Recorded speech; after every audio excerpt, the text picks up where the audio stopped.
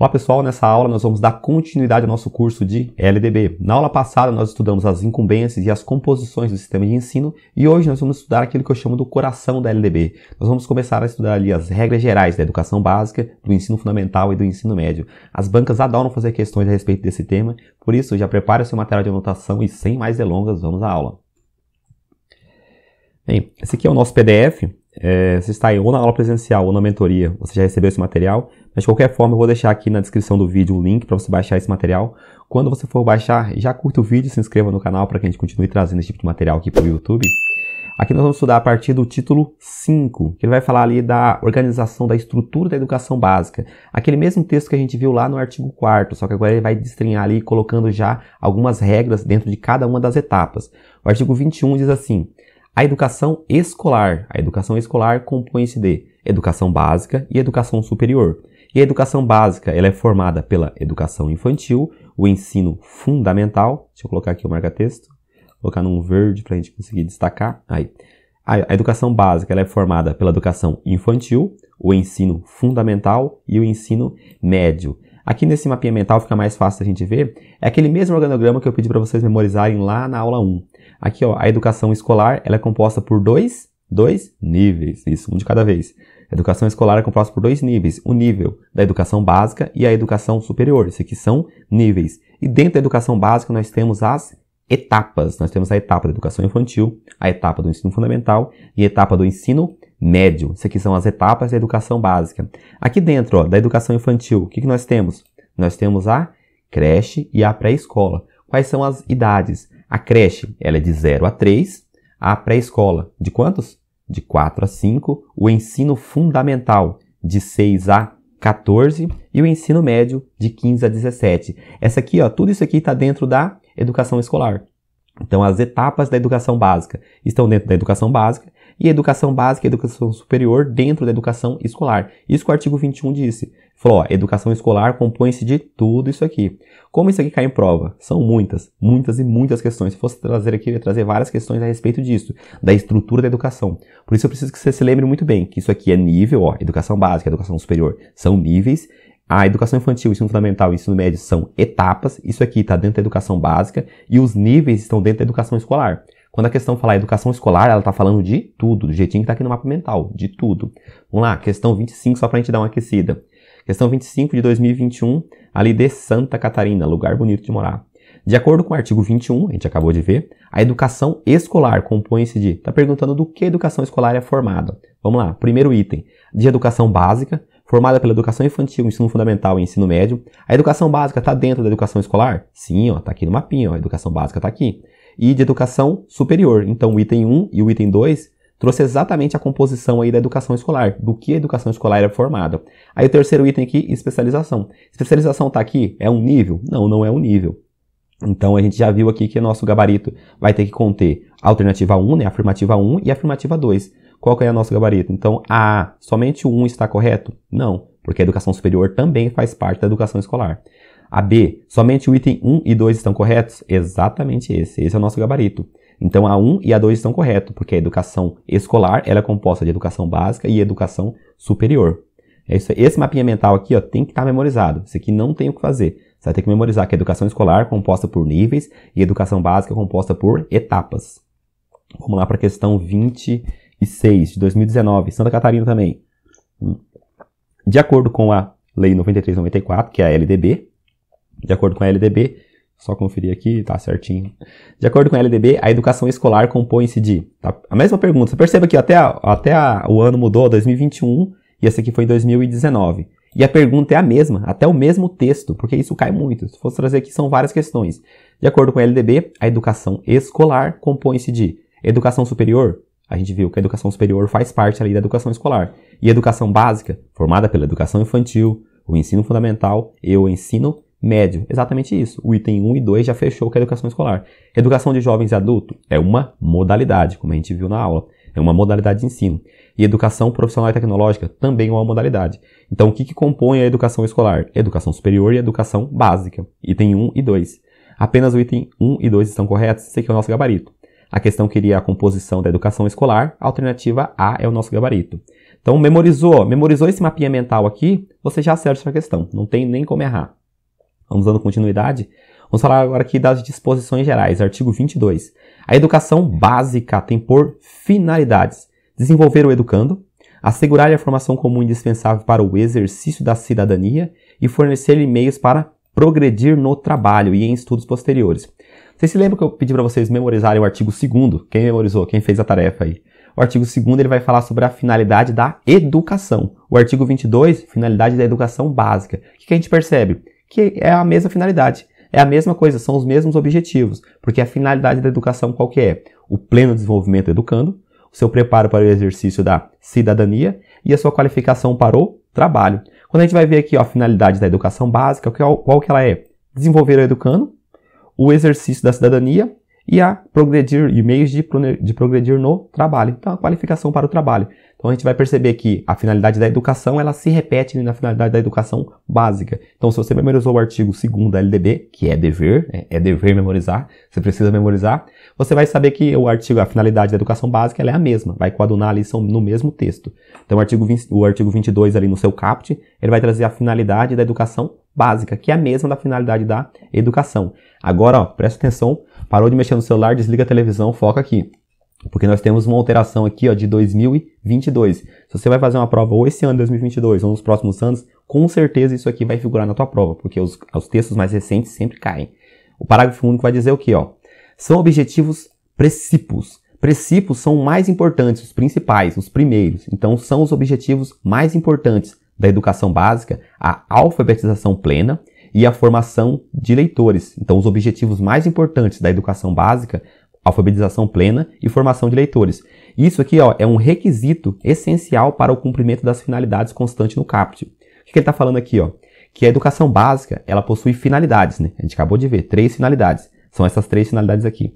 Como que eu vou conseguir alcançar essa finalidade? Eu só vou conseguir alcançar essa finalidade no momento em que eu conseguir oferecer uma alfabetização plena e uma formação de leitores. O mais importante que tem dentro da educação básica, que é o objetivo mais importante, é exatamente esse: é você alfabetizar de forma plena e você formar leitores durante as etapas da educação básica. Se eu não fizer isso, eu não vou conseguir atingir as finalidades da educação. Essas finalidades aqui, desenvolver o educando, o pleno exercício da cidadania e a qualificação para o trabalho, ela só vai ser alcançada no momento em que eu garantir, que eu assegurar a alfabetização plena e a formação de leitores dentro da educação básica.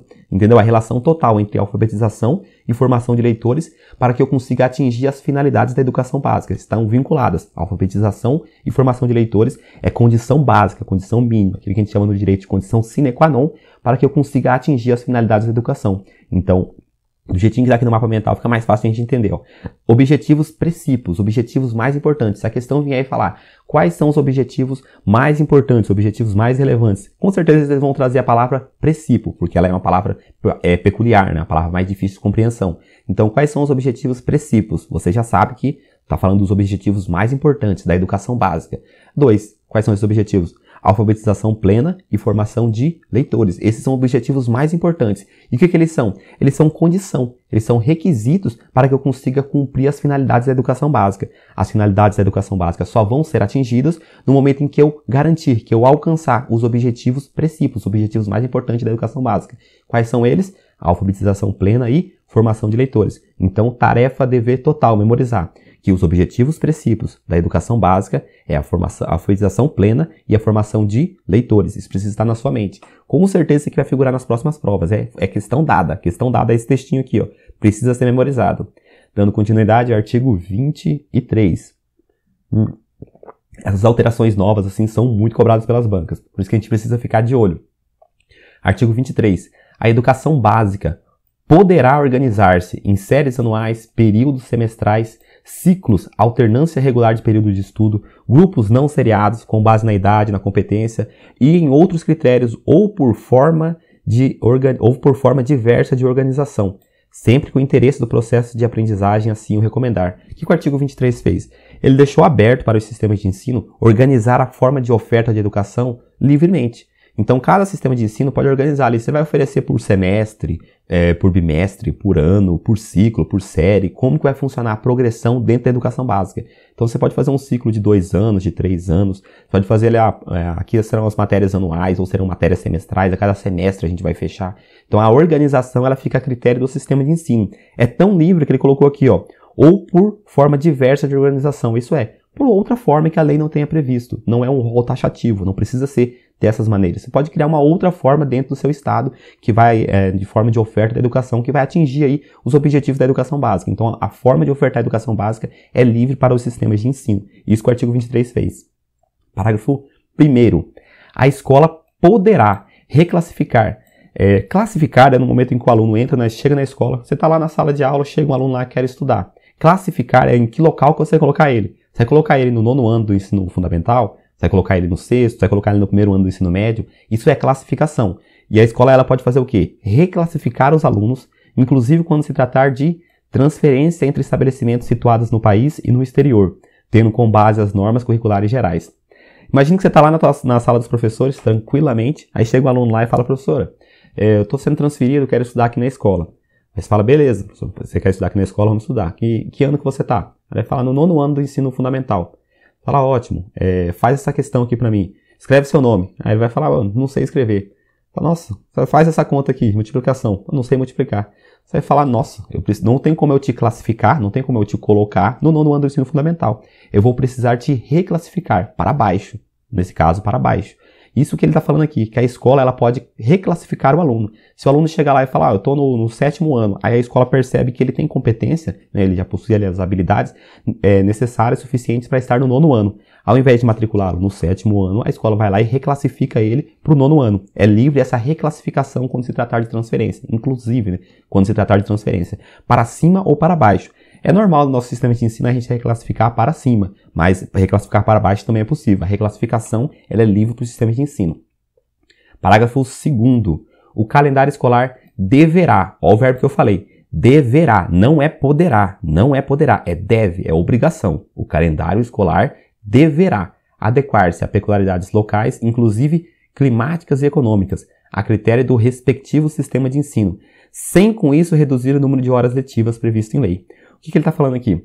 Que o calendário escolar, os dias de aula, ele deve se adaptar à realidade local do, do onde está inserida essa escola. Então, se você tem uma escola na zona rural, ali vai ter é, a parte de plantação, colheita, ciclos ali de, de estudos, devem estar atrelados a essa realidade local. Então, quando você tem uma fase de plantação, uma fase de colheita, é normal, na verdade, a escola deve adequar-se a essa realidade. O que ela não pode fazer? Ela não pode reduzir o número de horas. Está escrito aqui, ó. Sem com isso reduzir o número de horas. Agora, o dia que vai ser ofertado a educação, o dia que vai ser ofertado a escola, né, o dia que vai ter aula, esse, esse calendário escolar, ele deve se adequar à realidade, inclusive climática e econômica. Os ribeirinhos que moram ali no norte, eles têm períodos de chuva, então o translado, o acesso fica mais difícil para a escola. Então, adequar-se a essa realidade local é uma obrigação da escola. O que, ela não pode fazer? Reduzir o número de horas. Então, ela deve, a escola deve adequar-se o calendário à realidade local, inclusive climática e econômica. E o que a escola não deve? Não deve reduzir o número de horas para fazer essa adequação. Só adequar os dias. Questão 27. Vou fazer uma questãozinha aqui para a gente quebrar essas informações. Como eu falei, são muitas informações. Artigo 27, questão de 2021. Ou, questão 27 de 2021. É, Leonardo é professor e atua no município de Betac, onde existem peculiaridades econômicas locais. Opa, maravilha! Além da dificuldade de transporte diante da existência de inúmeras habitações localizadas nos vários rios da região, os ribeirinhos. Por força dessa realidade, a escola possui calendário escolar próprio. Maravilha, porque a escola deve possuir. Nos termos da lei da LDB, o calendário escolar deverá adequar-se a peculiaridades locais, inclusive climáticas e econômicas, que a gente acabou de ler, a critério do respectivo sistema de ensino, sem com isso reduzir o número de número de horas. Olha, a questãozinha foi mamão, a questãozinha a banca ajudou. Já trouxe aqui na alternativa A. Sem com isso reduzir o número de horas previstas na legislação. Então, as horas que são previstas na lei, elas não podem ser reduzidas. Os dias podem ser adequados, né? O calendário pode ser adequado. O que não pode é reduzir o número de horas previstas na lei. Ela queria aí o, o, a complementação aí do artigo 21, o gabarito letra A. Artigo 24. A educação básica, nos níveis fundamental e médio, será organizada de acordo com as seguintes regras comuns. Então, tudo que a gente vai ver agora se aplica ao ensino fundamental e ao ensino médio. São regras comuns. Depois disso aqui, a gente vai ver regras específicas da educação infantil, regras específicas do ensino fundamental e as, e as regras específicas do ensino médio. Agora nós vamos tratar de regras comuns do ensino fundamental e ensino médio. Vai dizer assim, o primeiro inciso. A carga horária mínima, carga horária mínima anual, será de 800 horas. Só, acho que deve ser que isso aqui está no top 10 de questões. Vai ter um vídeo aqui sobre o top 10 de questões, isso aqui vai estar. Tá. Esse inciso cai demais. Para o ensino fundamental e para o ensino médio. E para o ensino médio. Então, o ensino fundamental e o ensino médio, 800 horas é a carga horária mínima. Distribuída por um mínimo de 200 dias de efetivo trabalho escolar. Excluído, excluído, deixa eu até trocar de cor aqui, vou trocar de cor. Excluído, excluído o tempo reservado aos exames finais. Então, os exames finais não entram nessa contagem. Vamos olhar aqui no mapa mental para a gente enxergar de uma forma mais simples. Então, no ensino fundamental e no ensino médio, nós temos uma carga horária mínima e um dia de efetivo trabalho mínimo. Qual que é a carga horária mínima? 800 horas. Então, são 800 horas e quantos dias? 200 dias. Já repete até gravar no seu coração. 800 horas e 200 dias. É a carga horária mínima, 800 horas, e quantos dias de efetivo trabalho? 200 dias. Entre os exames finais, não entra. Não entra os exames finais, está aqui embaixo, ó, a corujinha está anotando tudo ali, ó. Não entra os exames finais. Por quê? Porque não são todos os alunos que vão para o exame final. Então você vai ter uma prova, uma prova, se ele passar, ele pode passar direto. Então ele passou direto, ele não vai para o exame final, por isso que não pode entrar os exames finais. Não, o exame final não se aplica a todos os alunos. Então, nessa contagem das horas e dos dias letivos, não pode colocar os exames finais. São quantas horas? 800 horas. Em quantos dias? No mínimo 200 dias. Lembrando que é mínimo, ó, é mínimo. Então, mínimo de 200 dias, mínimo de, 200, de 800 horas. Esse aí é o mínimo. São o mínimo que nós vamos tratar do ensino fundamental e do ensino médio. Percebeu que aqui tem um asterisco aqui, ó, um asteriscozinho? Porque houve uma, alteração em 2017 na quantidade de horas do ensino médio. E a gente vai ver um pouquinho mais à frente isso. Mas por hora fica com essa informação, que isso aqui se aplica ao ensino fundamental e ao ensino médio. O mínimo de 800 horas e o mínimo de 200 dias. 800 horas e 200 dias para o ensino fundamental e ensino médio. Inciso extremamente importante. 2. Inciso 2. A classificação. Eu disse que a classificação é quando você é, vê o local que o aluno vai entrar dentro do, do teu sistema de ensino. Então, você vai classificar um aluno, é colocar ele no sétimo ano, no primeiro ano do ensino fundamental, colocar ele no ensino médio. Isso é classificar, colocar ele em algum ciclo dentro da sua, da sua, do teu sistema de educação. Onde você vai colocar esse aluno é uma classificação. A classificação em qualquer série ou etapa, então qualquer série ou etapa, em qualquer ano, exceto para a primeira do ensino fundamental. Memorize isso aqui, ó. Exceto para a primeira do ensino fundamental. A banca vai vir aqui e vai colocar incluindo a primeira do ensino fundamental. Então já fica ligado. Exceto para a primeira do ensino, do ensino fundamental, pode ser. E por que exceto para a primeira do ensino fundamental? Supomos que o aluno, como eu, eu não fiz pré-escola. Eu não fiz pré-escola, fiz direto o ensino fundamental. Minha mãe, quando eu estudei, quando, na minha época, né, não tem tanto tempo assim, mas não era obrigatório ainda. Então, a minha mãe me matriculou direto no ensino fundamental. Eu fui direto ali no primeiro ano do ensino fundamental. Não, não fiz pré-escola, eu não fiz pré-escola. Mas hoje é obrigado a ter pré-escola. Mas supomos que você está aí na tua escola, tranquilamente, na direção, ali na peixada com a diretora, trocando aquela conversinha, puxando um saquinho, tranquilamente. Aí você está ali, aí chega um aluno lá, ah, eu quero uma mãe, chega uma mãe e fala, eu quero matricular meu filho aqui na escola. Ah, maravilha, tranquilamente. É, ele fez pré-escola? Não, ele não fez pré-escola. Quantos anos ele tem? Seis anos. Você vai é, falar para ele, não, ele precisa voltar lá para o ensino fundamental e para educação infantil e fazer a escola? Não. Você não vai, por quê? Porque não há classificação. Essa classificação é livre, não, não existe classificação para o primeiro ano do ensino fundamental. Se ele chegar lá e não tiver feito a pré-escola, não importa, ele vai ser matriculado no primeiro ano do ensino fundamental. Então, o primeiro ano do ensino fundamental não existe critério de classificação, é só a idade. Por isso que ele diz aqui, ó, a classificação em qualquer série ou etapa exceto o primeiro do ensino fundamental, porque o primeiro ano do ensino fundamental é só a idade. Tem a idade, já pode se matricular. Não existe pré-requisito a não ser esse. Pronto, inciso aqui a linha A, a linha A da classificação. A classificação, então, ela vai acontecer de três formas. São três formas de classificação. A primeira, por promoção. Então, a primeira forma de classificação, de você colocar o aluno dentro de, algum, dentro de alguma fase ou ciclo de estudo. A primeira forma é a promoção. A promoção é o famoso passeio de ano. É o passeio de ano. Porque ó, a promoção ela é o quê? Promoção para alunos que cursaram com aproveitamento a série ou fase anterior. Então ele cumpriu ali os requisitos da fase ou série anterior e ele vai ser promovido para a subsequente. Ele cumpriu todas as, fases, as séries, as, as obrigações ali do sétimo ano. então ele vai para o oitavo ano. Então isso aí é uma promoção. Por transferência, transferência é quando ele vem de outra escola ou outro sistema de ensino, e independentemente de escolarização anterior. Então, independentemente de escolarização anterior, mediante avaliação feita pela escola, que define o grau de desenvolvimento e experiência do candidato, e permita sua inscrição na série ou etapa adequada, conforme a regulamentação do respectivo sistema de ensino. Imaginem um aluno que estudou aí até o segundo ano, a segunda, a segundo ano do ensino fundamental, né? Estudou até o segundo ano do ensino fundamental, parou de estudar.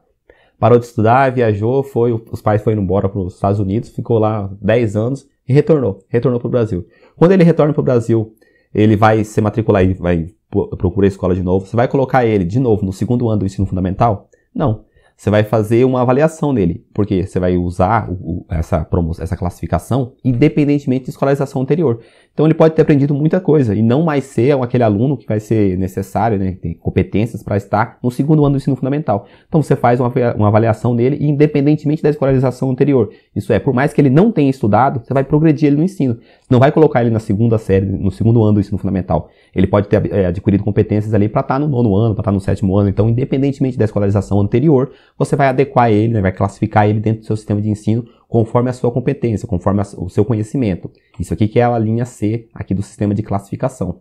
Vamos ver aqui a classificação. Sempre que você vir a palavra classificação na LDB, você lembra que é PTI, que é promoção, transferência ou independentemente de escolarização anterior. Classificação é PTI, é por promoção, por transferência ou independentemente de escolarização anterior. Então, não depende da escolarização. A escola vai lá, aplica uma prova, uma avaliação e vê qual que é ali a capacidade desse aluno de estar é, classificado dentro de uma série ou fase. Então, conforme a competência dele, você vai classificar ele. Isso é independentemente dele ter estudado ou não. E exceto para a primeira do ensino fundamental. Para o ensino fundamental é só idade. Então, para o ensino fundamental não existe essa classificação. Tem a idade, vai entrar. Então, pegou aí classificação. Lembra que você lembra de classificação? Que você lembra? Classificação é PTI, promoção, transferência ou independentemente de escolarização anterior. Inciso 3, aqui nós estamos falando, lembre, estamos falando de regras gerais do ensino fundamental e do ensino médio. Outra regra geral do ensino fundamental e do ensino médio. Nos estabelecimentos que adotam progressão regular por série. Progressão regular por série, ou por ano, no caso, né? Sexto ano, sétimo ano, oitavo ano. O regimento escolar pode admitir formas de progressão parcial. Formas de progressão parcial desde que preservada a sequência do currículo, observadas as normas do respectivo sistema de ensino. Isso aqui é a nossa famosa dependência. Lembra da faculdade aí que você passava de, de semestre ali carregava uma dependência no pescoço aqui? Então, isso aqui é a mesma coisa. Aqui no Mato Grosso do Sul nós temos a deliberação 10.814, que regula o sistema de progressão parcial. Dentro do seu sistema de ensino do seu estado, com certeza aí vai ter um, alguma deliberação, alguma portaria, alguma resolução que vai, que vai normatizar isso. A LDB aqui apenas deixou a possibilidade de. Isso é, o aluno ser promovido, então ele vai ser promovido ali na, na sétima série, né, no sétimo ano. Ele vai ser promovido do sétimo ano para o oitavo ano, e algum, algum dos componentes curriculares ali ele não fechou, e aí ele vai fechar em um outro momento, ele vai ter uma outra oportunidade. Qual que é a exceção? Não pode ser, é, você não pode quebrar a sequência do currículo. Por exemplo, imagine que você tem um componente curricular ali de cálculo, cálculo 1. Aí no outro ano você tem cálculo 2. Não tem como ele carregar. Não tem como ele carregar porque você vai quebrar a sequência do currículo. Desde que não quebre essa sequência, ele pode ter uma dependência, uma progressão parcial, né? Ser progredido, ficar devendo aí uma matéria. Isso aqui é a nossa gloriosa DP na faculdade. Então, isso é permitido. No Mato Grosso do Sul, como eu disse, tem uma portaria, uma resolução né, que ela vai, uma deliberação, na verdade. Essa deliberação ela vai é, regular como isso vai acontecer e dentro do seu sistema de ensino aí, no seu sistema de ensino municipal, estadual, com certeza deve ter aí algum, alguma resolução que vai tratar especificamente como isso funciona. Mas aqui a, a LDB ela deixa aberta a possibilidade. Inciso 4. Poderão, é possibilidade, organizar-se classes ou turmas com alunos de séries distintas com níveis equivalentes de adiantamento na matéria para o ensino de línguas estrangeiras, artes ou outro componente curricular. Imagine que tem um aluno que é, ele, os pais dele colocaram ele na escola, escola particular de inglês, por exemplo. Ah, ele está fazendo inglês. Ele fez lá cinco anos de inglês. Desde que ele nasceu, ele está matriculado em inglês. Ele fala fluentemente. Os pais estimulavam, eles falam fluentemente inglês. Então você pode ter uma turma, ao invés de ele estar tá ali, ele está no sexto ano do ensino fundamental, sétimo ano do ensino fundamental. Ao invés de você deixar ele fazer inglês junto com essa turma, que está muito abaixo da capacidade dele, você pode colocar ele ali para fazer junto com o pessoal do nono ano, ou junto com o pessoal do ensino médio. Isso é, ter uma turma que não está por idade, está por competência, está por, por, conhecimento da matéria. Como ele conhece muito bem essa língua estrangeira, você coloca ele para fazer essa matéria junto com o pessoal equivalente. Isso que está falando aqui. Você pode abrir uma turma de com o mesmo nível equivalente de adiantamento da matéria. Pessoal que conhece o mesmo tanto daquela matéria, de artes, de inglês ou de qualquer outro componente curricular. Você não está promovendo ele de ano, você está apenas colocando ele para estudar com o pessoal equivalente, que tem o mesmo conhecimento. Certo? Isso aqui é o inciso 4. Agora nós vamos aqui num dos top 10 de novo. Vai fazer parte aí dos incisos top 10, que é a verificação do rendimento escolar. Isso aqui chove, despenca na sua prova. Vamos, vamos ver. A verificação do rendimento escolar observará os seguintes critérios. Ó a corujinha marcando. Eu disse para vocês memorizar o artigo 2 a estrutura da educação escolar, e aqui outro, outro inciso que eu quero que vocês memorizem, outro trecho. Esse, essa linha A aqui do, do inciso 5, eu preciso que vocês memorizem, porque esse aqui cai muito, cai muito, que é o quê? Avaliação contínua e cumulativa do desempenho dos alunos. Está falando aqui das formas de verificação do rendimento escolar. O primeiro é a avaliação contínua, contínua então, continuamente, e cumulativa, e subindo. Então são várias vezes contínuo e ela vai se cumulando do desempenho do aluno, com prevalência, mais importante, os aspectos qualitativo, a qualidade, sobre a quantidade, e dos resultados ao longo do período sobre eventuais provas finais. Vamos estender aqui, nós, nós vamos ter aqui um curso de, de avaliação, mas para a gente entender isso aqui que a gente acabou de ler, é necessário ter um conhecimento básico de avaliação. Ele vai dizer aqui ó, que no início, quando a gente vai começar um trabalho, um ciclo de estudo, a gente tem uma avaliação diagnóstica, no qual a gente observa ali o que o aluno sabe, o que ele não sabe e o que ele precisa aprender. Isso é avaliação diagnóstica. Feito a avaliação diagnóstica, com posse desses dados, dessa informação, a gente vai começar a nossa avaliação formativa, que vai ser início, vai dar início ao nosso trabalho. A avaliação formativa, ela vai se desenvolver durante todo o processo de ensino-aprendizagem. São várias avaliações, trabalhos, apresentações, enquetes, são muitas as atividades que vão acontecendo e o professor ele vai avaliando constantemente, avaliando tarefas, avaliando o caderno. Então, tudo aquilo que acontece dentro do processo de ensino-aprendizagem, ali, o meio do processo de ensino-aprendizagem, são várias avaliações. E essas avaliações nós chamamos de avaliação formativa. O que, que a LDB falou? Que a avaliação formativa, essa aqui, ó, que acontece no meio do processo, ela é mais importante do que a do final. Porque no final nós temos que ter uma nota, atribuir uma nota final a esse aluno. E isso nós chamamos de avaliação somativa.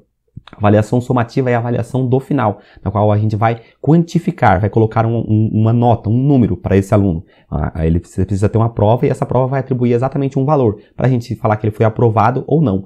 O que, que não pode? Essa avaliação somativa, que é a avaliação do final, ser mais importante, ser mais relevante, ter um peso maior do que a avaliação formativa. Então a avaliação formativa ela vale mais do que a avaliação somativa. A formativa, o processo, o processo vale mais do que a avaliação final.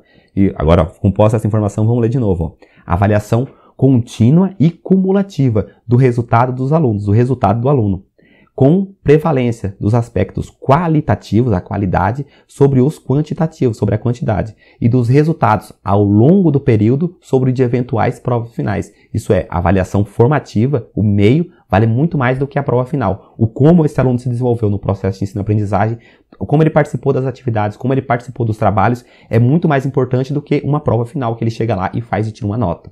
Então isso aqui são os conceitos de avaliação e aqui nós temos que a LDB ela dá uma preferência, uma prevalência para a avaliação formativa, para o processo de ensino, do que uma nota final no, no final do processo de ensino. Aqui esse aqui é o inciso A, memorize. A gente vai ver aqui que cai muitas questões sobre isso. Isso aqui é a primeira forma de verificação de rendimento escolar. Qual que é a próxima agora? Agora são os três As, que é aceleração, avanço e aproveitamento. A, o B, possibilidade de aceleração de estudo. A gente acelera quem está atrasado. Vai lá atrás, pega ele, fala no ouvido dele, fala acelera. Vai, vai para frente, vai, vai.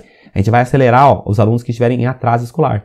Ah, ele, ele reprovou um ano, está reprovado um ano. Não posso deixar ele ali para sempre. Eu preciso criar mecanismo para acelerar ele, para fazer ele encontrar a turma dele de novo. Está dentro ali da faixa etária exata. Então eu vou acelerar isso. Como você vai fazer? Cada sistema de ensino vai ter. Aqui no Mato Grosso do Sul, deliberação 10.814 trabalha isso. Então a aceleração de estudo. É, tem uma possibilidade de avanço. Diferente da aceleração, na aceleração o aluno está atrasado, ele perdeu um ano. No avanço ele não perdeu um ano. Eu vou avançar quando ele tiver. É, eu, eu, verifico ali por meio de verificações de escolar que ele tem condições de estar um ano à frente. Então, ao invés de ele estar no sétimo ano, eu falo, não, esse aluno aqui ele tem condição de estar no oitavo ano. Então, eu vou fazer o avanço. O avanço é, é colocar ele para frente. Ele não está atrasado, ele vai avançar, ele vai para frente. A aceleração, o aluno está atrasado. Na aceleração não está atrasado, eu quero trazer ele para a idade correta. Aqui no avanço, não. No avanço ele tem condições, ele tem ali eh, competências e habilidades para estar em um próximo ano. Então eu vou avançar ele para frente. Esse é o avanço. A aceleração, ele está atrasado, o avanço eu coloco ele para frente. E o aproveitamento de estudos concluído com esse é aproveitar ali, isso aqui é meio redundante, né? Que você vai aproveitar os estudos que o aluno já tiver. Então, tanto em uma transferência, tanto na, na própria escola. Então você vai aproveitar os estudos concluídos com esse. O E obrigatoriedade de estudo de recuperação. Vou falar mais uma vez. Obrigatoriedade. As questões vão falar que não é obrigatório. E o estudo de recuperação, ele é obrigatório. O estudo de recuperação é obrigatório à oferta. Preferencialmente, ó, de preferência, paralelo ao período letivo. Isso é, se ele estuda de manhã, a recuperação dele precisa ser à tarde. Se ele estuda à tarde, a recuperação vai ser de manhã. Porque se ele não tiver na aula regular, né, ah, agora, agora a gente vai ter aula de física. Só que ao invés de ter aula de física, ele vai ter recuperação de filosofia ou recuperação de língua portuguesa. Então ele já vai perder a aula de física. Ele vai perder a aula de física. Ele vai acabar é, é, sendo prejudicado e, de novo, pegando, tendo necessidade de outra recuperação. Por isso tem que ser paralelo. A recuperação ela tem que ser paralela ao período de, de estudo dele, né, ao período letivo dele. Para os casos de baixo rendimento escolar, a serem disciplinados pelas instituições em seus regimentos. Então as escolas elas vão é, estipular como elas vão fazer essa, essa recuperação, mas a recuperação é obrigatória. Aqui no, mapinha, no mapinha mental, fica fácil da gente ver ó, que o rendimento, a verificação de rendimento, ela possui aqui ó, cinco formas. Então, a mais importante, ó, a mais importante não tem nem erro, é essa aqui, ó. Isso aqui cai muito, isso aqui cai, cai, cai, cai, cai, cai demais.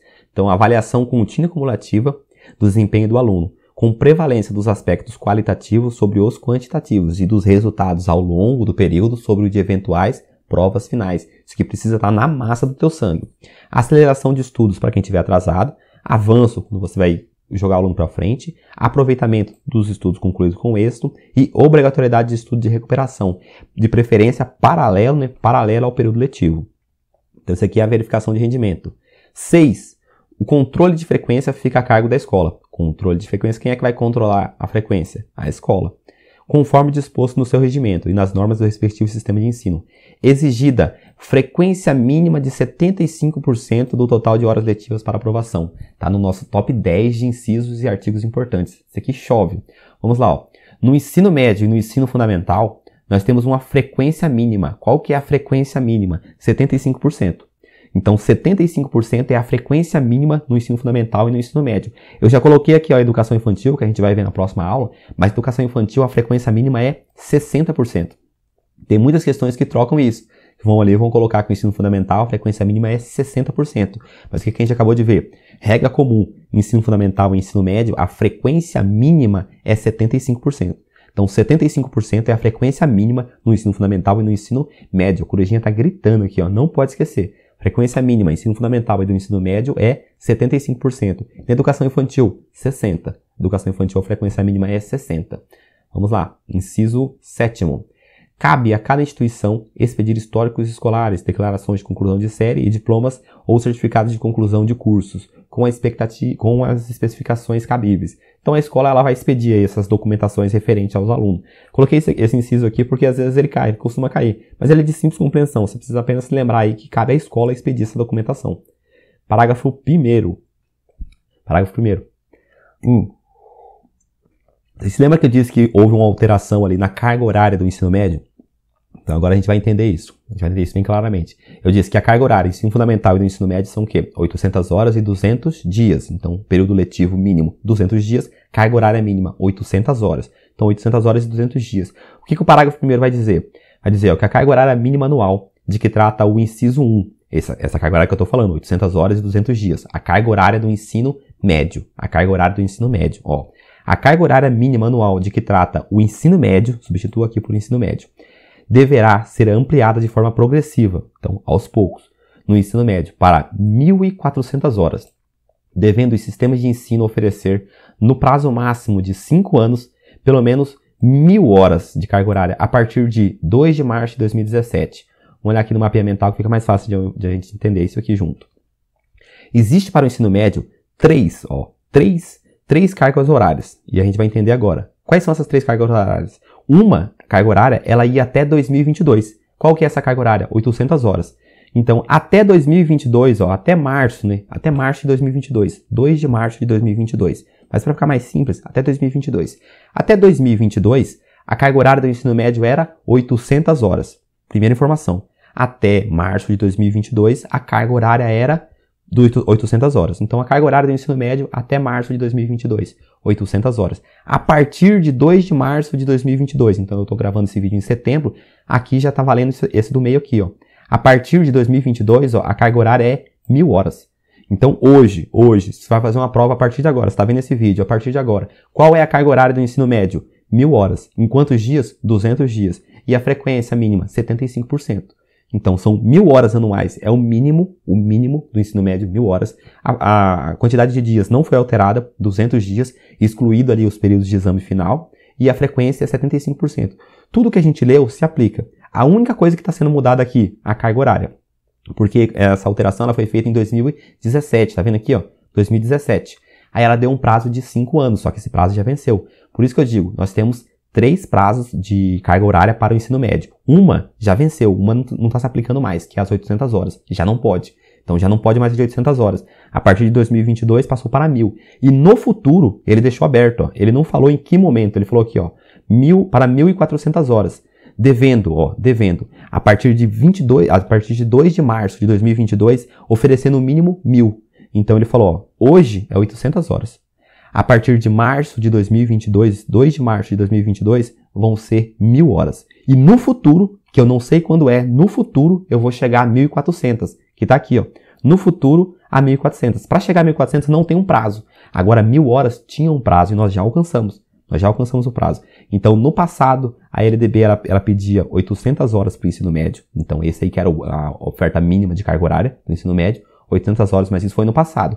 Hoje, hoje agora, são mil horas. Então, mil horas é o mínimo do ensino médio, a carga horária anual. E no futuro, vai ser quantos? 1.400 horas. Só que esse futuro não tem data, então não tem uma data específica. É um objetivo, uma meta que está aberta aí para a LDB da carga horária do ensino médio. Então a, a LDB deixou aberta essa meta. Porém, hoje o que a gente precisa entender para resumir isso aqui, que a carga horária do ensino médio ela é de mil horas. Ela foi 800 horas no passado, mas a partir de 2022 passou a ser mil horas anuais a carga horária mínima. As outras regras se aplicam do mesmo jeito. Mil horas 200 dias, 75% a frequência mínima. A única alteração que esse parágrafo fez foi na quantidade mínima de horas, que era 800 horas, como a gente acabou de ver, porém agora a partir de março de 2022 passou a ser 1000 horas.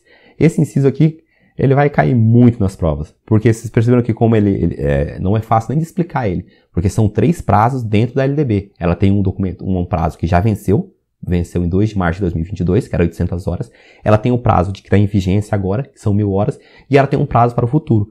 No futuro será 1.400 horas, mas hoje não é 20, hoje não é 1.400 horas. Hoje a frequência, a carga horária mínima do ensino médio é 1.000 horas. 1.000 horas são a carga horária mínima. Aqui a corujinha está gritando, ó. No ensino médio, qual que é a carga horária mínima anual? Qual que é a carga horária mínima anual? 1.000 horas. Então, 1.000 horas no ensino médio é a carga horária mínima anual já foi 800 horas, mas agora é, agora são né, mil horas, agora são mil horas. Parágrafo 2 Presta atenção, se você não conseguir entender isso aqui, você me explica. Caso você não tenha entendido, escreva aí nos comentários e me chama aí no Instagram, eu escreva nos comentários que eu respondo é, a dúvida que você tiver, mas é dessa forma. No passado foram 800 horas, hoje são mil horas, né, a partir de 2 de março de 2022, mil horas, e no futuro, que não tem uma data específica, vão ser 1.400 horas. Parágrafo 2 os sistemas de ensino disporão, eles terão, os sistemas de ensino terão, é, disporão, né? Eles vão falar, perdão, eles vão falar, né? Eles disporão, eles vão falar sobre a oferta da educação de jovens e adultos e de ensino noturno regular, adequadas condições do educando, conforme o inciso 4 o inciso 6 do artigo 4 inciso 6 do artigo 4 Então, os sistemas de ensino eles devem ter educação de jovens e adultos e o ensino noturno regular. Isso que vai ser disposto nos seus sistemas de ensino, eles disporão. Eles vão estabelecer como isso vai funcionar. Vamos aqui para a questãozinha. Mais uma aguinha aqui para. O professor está falando muito. Questão 28, Prefeitura de Timóteo, Minas Gerais, lugar das cachoeiras. No que diz respeito à verificação de rendimento escolar, a LDB afirma aqui, ó, no que diz respeito à verificação de rendimento escolar, a, a Lei de Base de Educação, a Lei de Diretrizes de Base da Educação Nacional, a LDB, pá, afirma que, a LDB afirma que, em, em relação à verificação de rendimento escolar, a alternativa A. Não é possível, não é possível a aceleração, a aceleração de estudos para alunos com atraso escolar. Opa, a gente acabou de ver que a gente acelera, vai lá e dá na nuca do aluno para ele acelerar quando ele estiver atrasado. A aceleração é possível sim, 3 As. B. Não é recomendado o avanço, opa, nos cursos e nas séries mediante verificação de aprendizado. Não, claro que é, velho. A gente pode colocar ele para frente ali, avançar o aluno conforme a competência dele, mediante verificação. C. Os aspectos quantitativos, as quantidades, devem prevalecer sobre os aspectos qualitativos, sobre a qualidade. É o mais absoluto inverso. A gente acabou de ler que na, que na verificação de rendimento escolar é o inverso disso. A gente tem a prevalência dos aspectos qualitativos sobre o quantitativo. Aqui ele trocou, por isso tem que ficar bem atento, bem ligeiro. C, esse aqui está errado porque ele trocou. É a qualidade sobre a quantidade. Essa C foi errada. D, os estudos de recuperação são obrigatórios de preferência paralelos ao período, de, ao período letivo, para os casos de baixo rendimento escolar, a serem disciplinados pelas instituições de ensino e seus, e seus regimentos. Exatamente isso. A gente acabou de ver que o estudo de recuperação ele é obrigatório, preferencialmente paralelo ao período letivo do aluno. Então, se ele estuda de manhã, essa recuperação tem que ser à tarde. Se ele estuda à tarde, a recuperação tem que ser de manhã. Questão, o nosso gabarito aqui é a letra alternativa D. Questão 29, Prefeitura de Candelária, Rio Grande do Sul. Estive aí no em Porto Alegre esses dias. De acordo com a LDB, a LDB, o controle de frequência, o controle de frequência fica a cargo da escola. Sendo assim, qual a frequência mínima exigida do total de horas letivos, letivas para a aprovação do aluno? Qual é a frequência mínima exigida? Alternativa A, 75%, 80%, 85, 90 e 95. lembro quando teve, essa, é, quando teve essa questão aqui, os alunos ficaram revoltados, porque o texto aqui da questão, ele não trouxe frequência mínima do ensino fundamental ou ensino médio. Ele colocou frequência mínima. E a LDB tem duas frequências mínimas. A da educação infantil, que é 60%, e da, do ensino fundamental e do ensino médio, que é 75%. Aí o pessoal falou, não, essa questão aqui está errada. Acontece que as alternativas não trouxe 60%. Só tem uma alternativa certa aqui. O que, que responde aqui qual que é a frequência mínima? A gente acabou de ver que a frequência mínima do ensino fundamental e do ensino médio é 75%. Se houvesse aqui é, uma alternativa com 60%, né, 60%, aí teriam duas respostas certas. Mas como não tem duas respostas certas, a questão foi mantida e quem errou, errou, teve que chorar. A frequência mínima exigida do total de horas letivas é 75%. Artigo 26, artigo 26. Vamos lá. Os currículos da educação infantil, do ensino fundamental e do ensino médio devem, devem ter base nacional comum, a ser complementada em cada sistema de ensino e em cada estabelecimento escolar por uma parte diversificada, por uma parte diversificada, exigida pelas características regionais e locais da sociedade, da cultura, da economia e dos educandos. Bem, o que ele está falando aqui?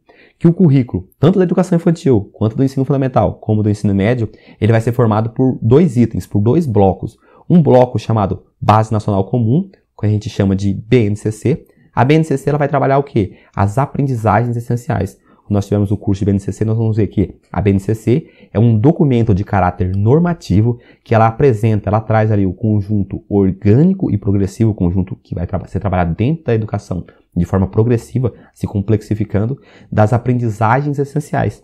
Então ela apresenta esse conjunto orgânico e progressivo de aprendizagens essenciais que todos os alunos devem desenvolver ao longo das etapas e modalidades da educação básica. Isso é a BNCC. Então quando a gente vê aqui ó, que ela vai ter uma base nacional comum, essa base nacional comum é o que? As aprendizagens essenciais.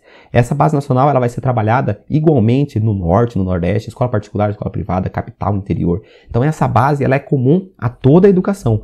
E essa base ela vai, ser, ela vai formar o currículo sozinha? Não. A BNCC ela não é currículo, ela não é currículo, porque ela, ela forma o currículo, é base do currículo. Porque para ser currículo precisa ter uma parte diversificada, que vai atender ali as características regionais, ó. A parte diversificada, ela vai trabalhar as características regionais, locais da sociedade, da cultura, da economia e dos educandos. Então ela vai se relacionar ali com essa, com essa realidade local da escola. Então a parte diversificada do currículo trabalha essa realidade local ali da escola e a parte comum do currículo, né, que é a BNCC, vai trabalhar as aprendizagens essenciais que são comuns a todos os currículos. E isso forma o currículo. Então, a base nacional comum mais a parte diversificada forma o currículo. E esse currículo deve ser trabalhado tanto na educação infantil, como no ensino fundamental e no ensino médio. Então, esse textinho aqui ó, se aplica a todas as etapas da educação básica, que é a base nacional comum curricular e parte diversificada formando o currículo. Formando o currículo. Esse aqui é o artigo 26. Vamos lá. Parágrafo 1 Os currículos, deixa eu colocar uma aguinha aqui, o professor tá com sede. Toma sua água aí. Opa. Isso. ia cortar, mas acho que não vou cortar não. Parágrafo primeiro.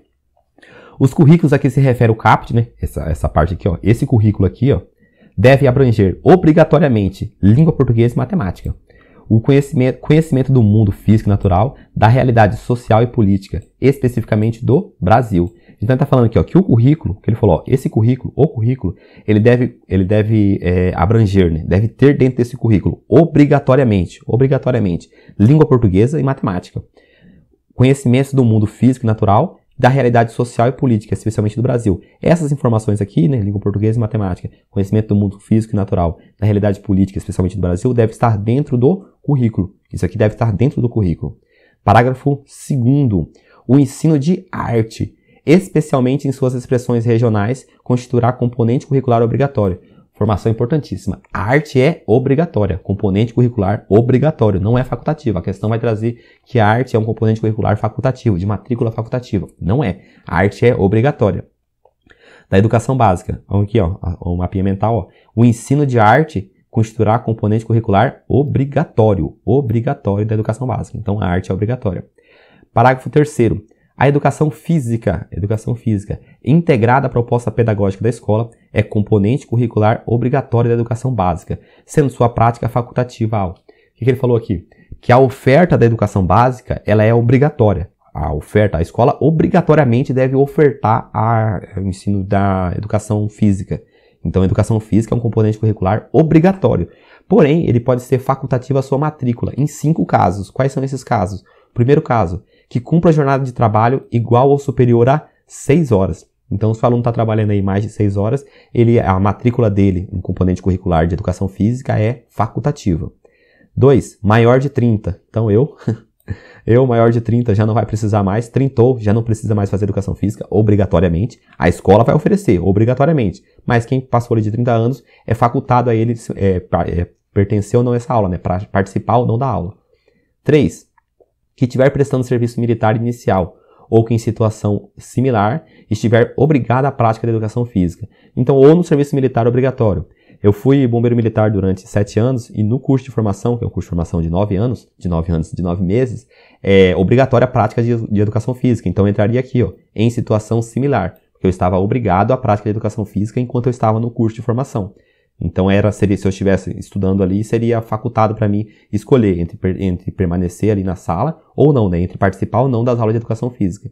Quem estiver prestando serviço militar inicial ou em situação análoga esteja obrigado à prática de educação física. 4. Amparado pelo Decreto-Lei 1004 de 1969, antigo. Esse decreto ele vai falar sobre portadores de infecções, de infecções, de afecções, de doenças. Então, de forma geral, se ele estiver doente, se ele estiver doente, ele vai ser liberado, ele vai ser facultado a ele participar ou não é, das aulas de educação física. 6. Que tenha prole, que tenha filho. Então, se ele tiver filho, também vai ser facultado para ele. Aqui, ó, no mapinha mental fica mais fácil da gente ver. A educação física facultativa. É facultativo para quem?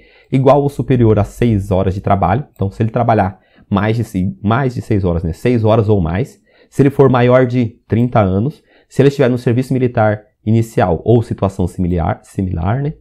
E se ele for portador de infecções, se tiver doente, se tiver alguma doença, não vai ser obrigado a participar da aula de educação física.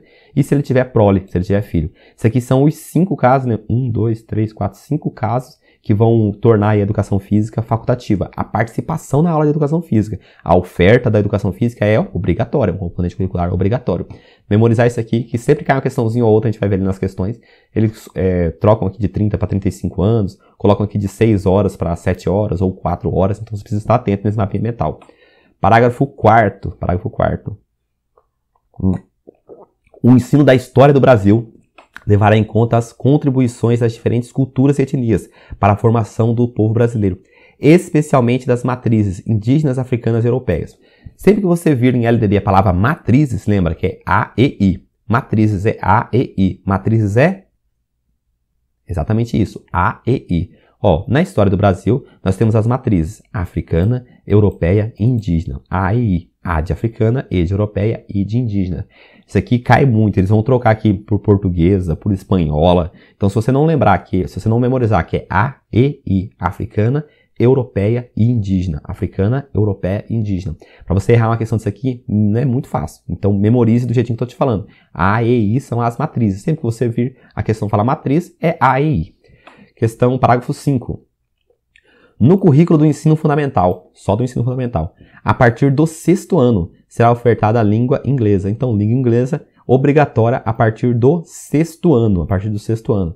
A, a, LDB ela não divide, mas a BNCC ela divide o ensino fundamental em duas fases. Né? Os anos iniciais do ensino fundamental, do primeiro ao quinto, e os anos finais, do sexto ao nono. Então a educação, a, a língua inglesa, ela é ofertada a partir dos anos finais do ensino fundamental. Então do sexto ao nono ano, a partir do sexto ano.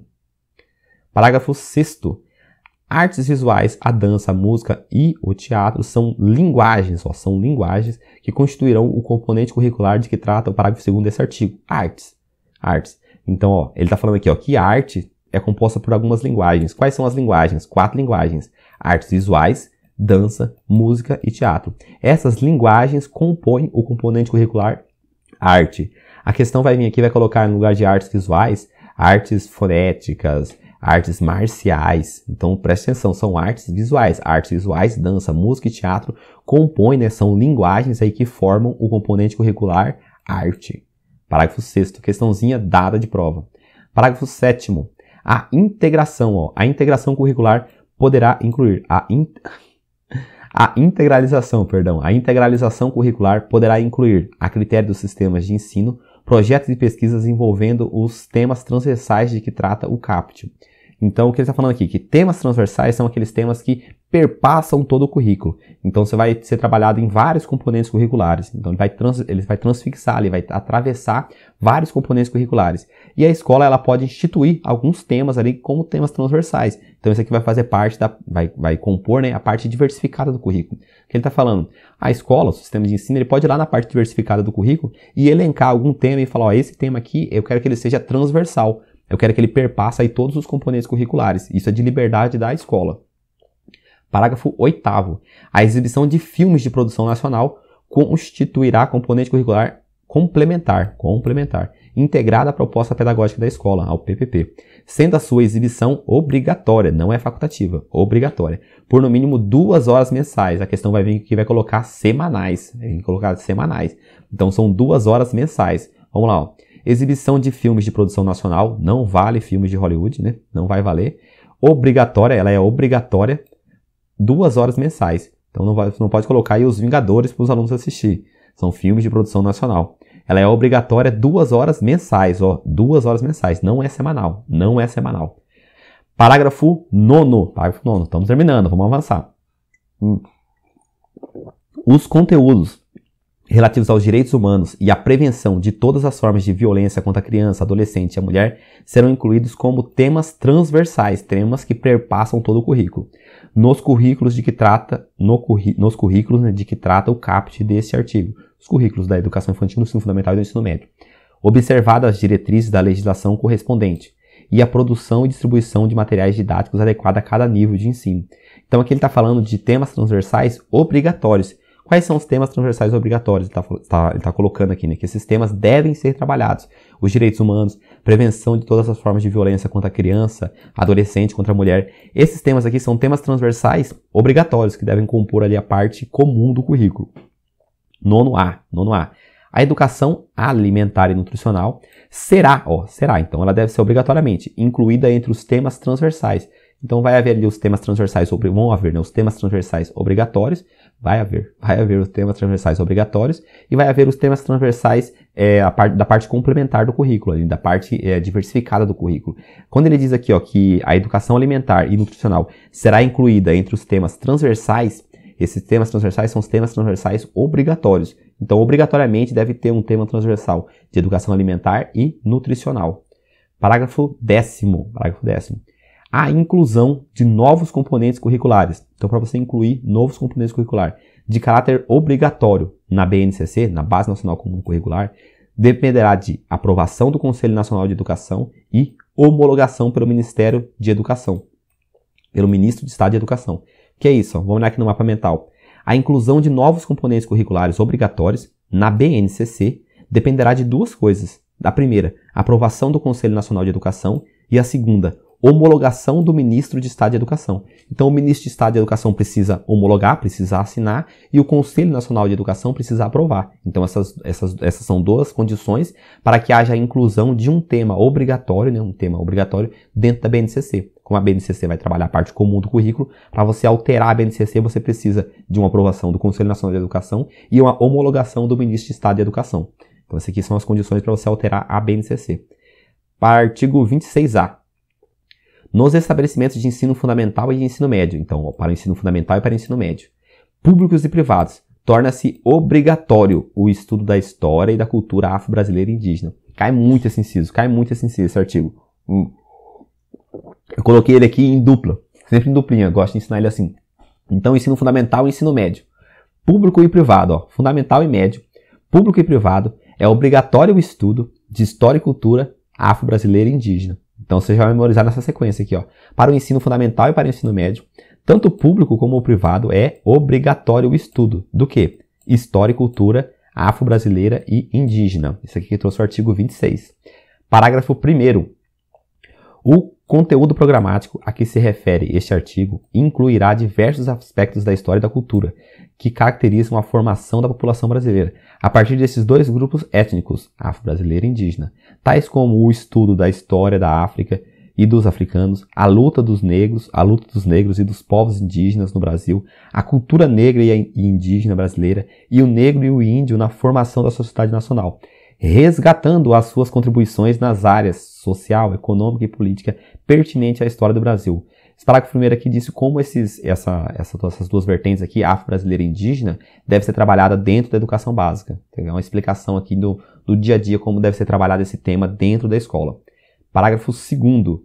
Os conteúdos referentes à história e cultura afro-brasileira e dos povos indígenas brasileiros serão ministrados no âmbito de todo o currículo, então é um tema transversal, em especial nas áreas de educação artística, literatura e histórias brasileiras. Isso aqui cai com gosto, isso aqui cai com gosto. Olha aqui um mapinha mental. Então, a história e cultura, ó, a história e cultura afro-brasileira e indígena, ela vai ser trabalhada em todo o currículo, porém, especialmente onde? Na educação artística, literatura e história brasileira. Então, esses três componentes curricular, obriga, eles, eles vão ter a preferência de trabalhar o tema a, das, afro, das culturas afro-brasileira e indígena. Então, a história e a cultura afro-brasileira e indígena, elas vão ser trabalhadas durante todo o currículo, em todo o currículo, especialmente onde? Especialmente nas, nos componentes curriculares de educação artística, literatura e história brasileira.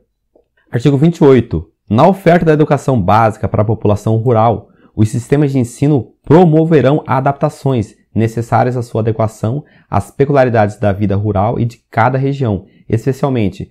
Isso é, os sistemas de ensino vão precisar adequar ali, a oferta da educação básica à realidade local, aquele que a gente viu ali, tanto na horas quanto no currículo, o que vai ser trabalhado ali, ela deve ser é, adequada à realidade do aluno, à realidade onde está o local da escola, ao público que a escola está atendendo. Então serão três adequações. A primeira, conteúdos curriculares e metodologias apropriadas às reais necessidades e interesses dos alunos da zona rural. Então, na zona rural, você tem que ter um currículo próprio, que vai ter uma linguagem própria, trabalhar temas próprios da realidade do aluno. Não dá para destoar esse tema, né, esse, esse currículo não ser montado do mesmo jeito que você vai montar um currículo em São Paulo, então em Brasília. Então, você tem uma, um grande centro econômico com realidades diferentes. Então, o currículo deve ser, ele tem uma parte comum, obviamente, mas ele tem uma parte diversificada que tem que atender essas características locais, regionais. É isso que ele está dizendo aqui no inciso primeiro. Inciso segundo, organização escolar própria, incluindo a adequação do calendário escolar, as fases e ciclos agrícolas e as condições climáticas. Como a gente já tinha visto, que o, o, a escola ela deverá adequar ali o seu calendário à realidade local da escola. Então não tem como ela não levar em conta, uma escola rural, não levar em conta aí os ciclos, ó. Ela precisa levar aqui o ciclo agrícola e as condições climáticas locais da escola. O calendário vai precisar levar em conta isso. 3. Adequação à natureza do trabalho da zona rural. Então a escola né, ela precisa se adequar à natureza desse trabalho.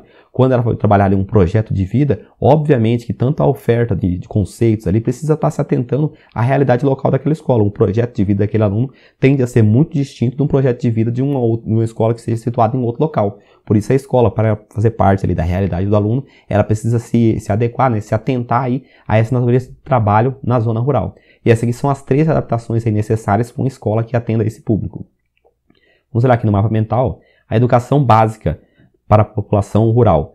Deve ter algumas adaptações. Quais são elas? São três adaptações: conteúdos curriculares e metodologias, então, conteúdos curriculares e metodologias próprias, adequação ao calendário do calendário escolar, então você precisa adequar o calendário escolar à realidade climática, à realidade rural e agrícola, e trabalho na zona rural. Então, adequação aí, ó, à natureza do trabalho na zona rural. Essas são as três adaptações aí na oferta da educação básica para a população rural. Parágrafo único, parágrafo único para a gente fechar. O fechamento, até combinou com a palavra, o fechamento de escolas do campo, indígenas e quilombolas será precedido de manifestação do órgão normativo do respectivo sistema de ensino e considerará a justificativa apresentada pela Secretaria de Educação, a análise do diagnóstico do impacto da ação e a manifestação da comunidade escolar. Aqui no mapeamento mental fica mais fácil de ver. Ó, para você fechar, para você fechar uma escola que esteja no campo, escola indígena ou escola em regiões quilombolas, você fechar uma escola aqui, esse fechamento ele vai ser o quê? Precedido de manifestação do órgão normativo do sistema de ensino. Então, o órgão que é responsável ali por normatizar o sistema de ensino vai ter que se manifestar. E nessa manifestação será levado aí três coisas em conta. O que, que ele vai considerar? A justificativa apresentada pela Secretaria de Educação, o que, que a Secretaria de Educação falou. Segundo, a análise do diagnóstico do impacto da ação, como essa ação vai, vai, vai afetar ali a qualidade da educação e a oferta da educação na, nessa região, né, na região do campo indígena ou quilombola. E por último, manifestação da comunidade escolar. A população local vai ser, vai ser ouvida ver a respeito dessa decisão. Então essas três considerações aqui, o órgão normativo ele vai levar em consideração. Com esse aqui a gente fecha a aula de hoje aqui, vamos só fazer uma questãozinha, vou fazer duas questões na verdade. Questão 30 de 2019, Prefeitura de Coronel Bicaco, Rio Grande do Sul.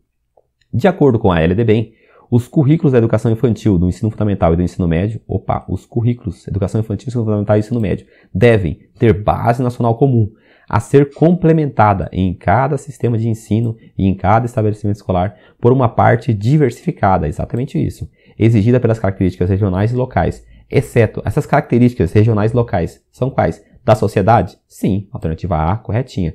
Da realidade filosófica e política? A gente viu isso aqui no texto, no artigo 26? Não vimos da cultura, da economia e dos educandos. Então, essa, essa diversificação que deve ser levada em conta é da sociedade, da cultura, da economia e dos educandos. Não é da realidade filosófica e política. A gente não viu isso aqui no artigo 26. Por isso, esse aqui é o nosso gabarito. Exceto isso, não será levado em conta, né? não será levado em conta na parte diversificada do currículo essa característica. Questão 31. Percebe aí que, o, que, o, que a questão ela trabalhou ali com o conceitozinho final do artigo 26. Por isso é importante você estar atento aos artigos mais importantes. Questão 31, de 2019, São Paulo. Currículo, os currículos da educação infantil, trocar de cor aqui, os currículos da educação infantil, do ensino fundamental e do ensino médio devem ter base nacional comum, a ser complementada em cada sistema de ensino e em cada estabelecimento escolar por uma parte diversificada, certinho? Segundo a LDB no seu artigo 26. A educação física, chegou a pergunta, ó. A educação física, integrada à proposta pedagógica da escola, é componente curricular obrigatório, conforme a gente viu, da educação básica, sendo sua prática facultativa aos alunos que, quando que é facultativo a educação física? Isso que a pergunta fez. Alternativa A. Para o aluno que cumpra a jornada de trabalho igual ou superior a 5 horas, eram 5 horas lá? Eram 6 horas. Então essa alternativa aqui está errada, marcada de vermelho. Então que cumpra a jornada de trabalho igual ou superior a 6 horas. A 6 horas. Está errado. B. Esteja prestando serviço militar inicial. Não está bem completo, mas vamos guardar ela no coração, vamos guardar ela no bolso. Também não está errado. Vamos ver as outras. C. Possua algum tipo de deficiência física? A gente não viu isso aqui. Gente viu pessoas que estejam ali passando por alguma infecção, em algum momento de doença, então a gente não viu que as pessoas que têm é, deficiência física vão ser afastadas. O atendimento educacional especializado ele deve sim ser ofertado educação física. D. Seja maior de 25 anos. Quantos anos estavam lá? 30. Então isso aqui está errado. Não é 25 anos. Maior de 30 se torna facultativo. Trintou. E. Tenha filhos ou sobrinhos matriculados na rede pública de ensino. Não, não, não. É ter filho, tem a prole, só tem a prole, não tem nada a ver com sobrinhos também. Não tem nada a ver se ele está matriculado na rede pública de ensino. É só ter filho. Com isso aqui a gente fecha que o nosso gabarito é a letra B. Nossa melhor resposta não está completa, né? Lá no, na lei está escrito esteja prestando serviço militar inicial ou em condição similar, né, esteja obrigado à prática de educação física. Porém, a nossa alternativa aqui é o nosso gabarito, que dá a resposta aqui da questão 31. Questão 32. Tem que pegar essa manha. Algumas questões, né, algumas bancas, vão lá e colocam um trecho do artigo. Então você precisa analisar ali, segura, dá uma olhada entre as, entre as outras alternativas, ver qual está mais correta ali, qual está, tem mais chance de estar certa. Então nesse caso aqui não tinha, não tinha como ser outra alternativa. Então é exatamente essa. Questão 32, questão 32, 2019. Pernambuco, ali no lugar quente, quente, quente. O ensino da arte, especialmente em suas expressões regionais, constituirá componente curricular obrigatório da educação básica, da LDB configuram-se linguagens desse componente. Olha, caiu as linguagens de arte. Quais são as linguagens, as linguagens de artes? Ioca é professor de educação é, os anos iniciais do ensino fundamental. Não é para especificamente para o componente curricular de artes. Você vê que sempre cai essa pergunta, é bom ficar atento. Alternativa A. Quais são as linguagens de arte? É a pergunta. Alternativa A. Artes plásticas, a dança, a música e o teatro. Ia, como que a banca foi sorrateira. É certeza que muita gente errou essa questão aqui.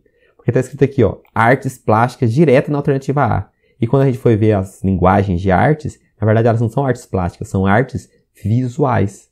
Artes visuais, a dança, a música e o teatro. A questão trocou aí as artes é, visuais por artes plásticas. Eu já vi questão que trocou aí por artes marciais. Então fique atento que essa troca que a banca faz derruba muito. Você precisa memorizar do jeitinho que está no texto. Aí a C, artes contemporâneas não vão ser. A D, artes visuais, artes musicais e o cinema, não vão ser, e aí, artes populares e clássicas. O gabarito aí, letra B, que são as linguagens de artes. 33, nossa última questão. Prova de Selecom 2019, em Mato Grosso. Cleo é a diretora da Escola Municipal RV e deseja implementar o estudo de línguas para melhorar a qualificação dos alunos. De acordo com a LDB, os currículos devem abranger obrigatoriamente o estudo de. Qual que é obrigatório? O que, que é obrigatório? O estudo da língua inglesa é obrigatório? Não. A gente viu que a língua inglesa vai ser ofertada a partir de quando? A partir do sexto ano. A partir do sexto ano. A gente não viu nada sobre língua espanhola, a gente não, leu aqui sobre língua espanhola, e nem sobre língua francesa. O que, que a gente viu? Que os currículos da educação infantil, do ensino fundamental e do ensino médio, obrigatoriamente devem abranger o ensino de língua portuguesa e matemática. Então a resposta aqui é, é a alternativa C. A alternativa C é o nosso gabarito. Com isso, a gente fecha nossa aula de hoje. Bem, pessoal, assim a gente vai encerrar essa aula de hoje. Vocês viram aí que são muitos conceitos, né, muitos termos para a gente trabalhar, muitos termos para a gente memorizar, e as bancas fazem muitas perguntas em tópicos distintos. Por isso, você não pode pular essa aula diretamente para a próxima aula se for a sua primeira leitura. Então, não vai assistir a aula 4. O que você vai fazer? LDB por hoje deu, estuda um outro tema e amanhã de manhã você revisa essa matéria. Por um dia revisa de novo, por outro dia revisa de novo. Então, no intervalo de cinco dias, leia três vezes esse material de PDF que vai estar aqui na aula, para você massificar esse termo antes de continuar progredindo dentro, desse, dentro dos conhecimentos. Certo? Feito isso, a gente vai conseguir aí, é, ter um conhecimento mais profundo e aumentar nossa capacidade de resolução de questão. No mais, se esse conteúdo tem ajudado você, curta esse vídeo, se inscreva no canal e até a próxima aula.